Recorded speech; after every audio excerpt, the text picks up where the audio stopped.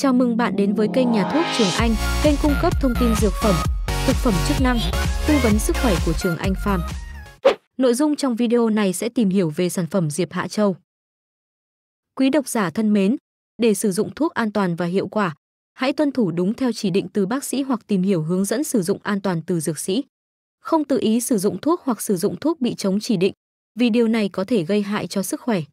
Nếu như bạn quan tâm tới thông tin về Diệp Hạ Châu cũng như cách sử dụng sản phẩm, thì hãy theo dõi hết video mà Trường Anh Farm chia sẻ dưới đây. Thành phần.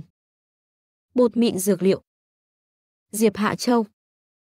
Tá dược vừa đủ một viên nang. Dạng bào chế. Viên dung dịch. Công dụng, tiêu độc, tán ứ, thông huyết, thanh can, trừ thấp lợi thủy. Chỉ định.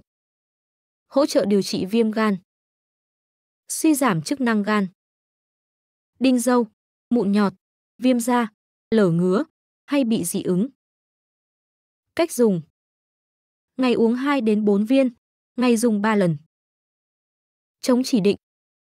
Bệnh nhân mẫn cảm với bất kỳ thành phần nào của sản phẩm. Lưu ý khi sử dụng. Đọc kỹ hướng dẫn sử dụng trước khi dùng.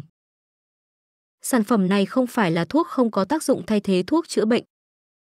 Nhà sản xuất Công ty trách nhiệm hữu hạn dược phẩm Phytopharma Hy vọng, qua những chia sẻ trong video này của Trường Anh Farm sẽ giúp quý bạn đọc hiểu rõ hơn về sản phẩm Diệp Hạ Châu, đồng thời biết cách sử dụng Diệp Hạ Châu sao cho đúng và hiệu quả.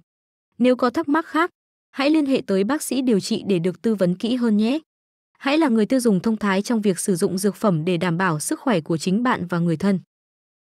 Cảm ơn bạn đã theo dõi video.